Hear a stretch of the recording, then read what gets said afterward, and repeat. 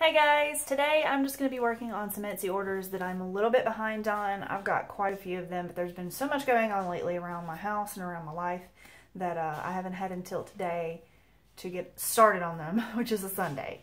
So I'm really, really excited to get started on them, and I hope that you're ready to join me, and let's get into the video.